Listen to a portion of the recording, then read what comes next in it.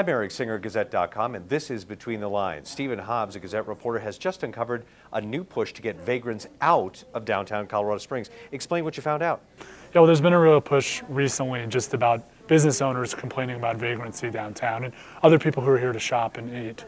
So the thing that the Colorado Springs Police Department is going to do, they're working with the municipal court to say that individuals who have been arrested five times in the past 18 months downtown have the potential to be banned from the downtown area. That includes um, between Boulder and Colorado, from the north to the south, and also from the east to the west, between Nevada and uh, Cascade Avenue.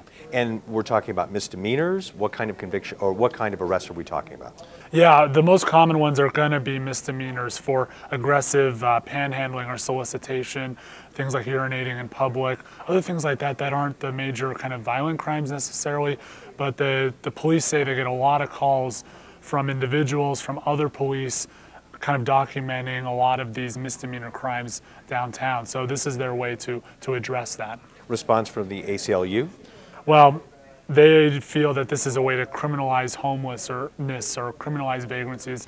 A lot of these individuals are, are here downtown, and an ordinance like this is just pushing them out. Um, there was a uh, panhandling ordinance in 2012 um, that the ACLU also challenged, which created kind of a no panhandling zone, which uh, someone at the ACLU said that is very similar to the restricted restrictions that they're including for this uh, new push. So they're obviously going to be monitoring it and see if, if it's something that they need to challenge in court. All right, thank you, Stephen.